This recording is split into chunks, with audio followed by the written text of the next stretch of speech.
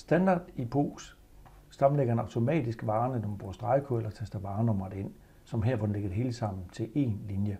Ønsker man ikke det, kan man rette det ned under opsætning. Jeg vælger opsætning, POS-opsætning og vælger sammenlæg ikke varer på bong. Gå ind i kassesystemet igen og vælger vinen her, og så den kommer linje for linje. En af årsagen til det er blandt andet, at man kan gå ind og rette den enkelte linje, hvis der er en speciel pris på varen, man ønsker, der skal være der.